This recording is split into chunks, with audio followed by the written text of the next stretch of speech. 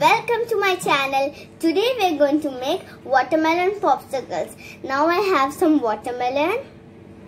Then I have some sugar. Now I'm going to put the watermelons in the blender.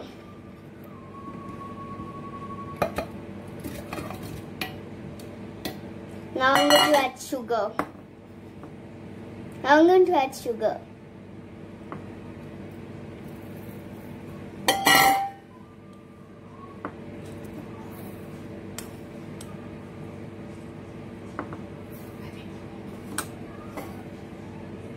Now we, I'm going to strain it.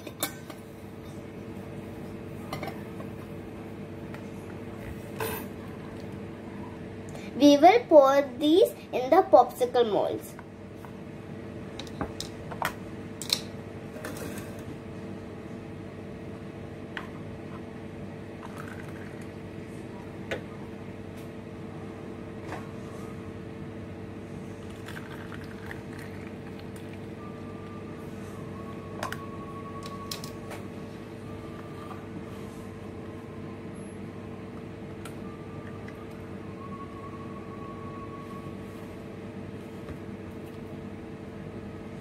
Now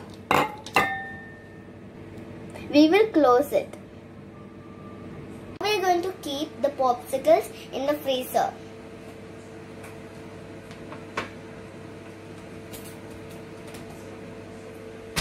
It for 4 hours. Now we are going to check it if it is ready or not.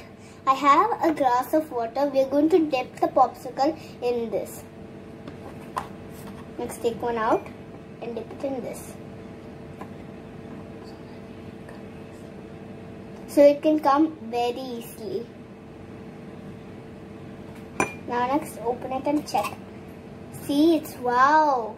It looks so nice. See?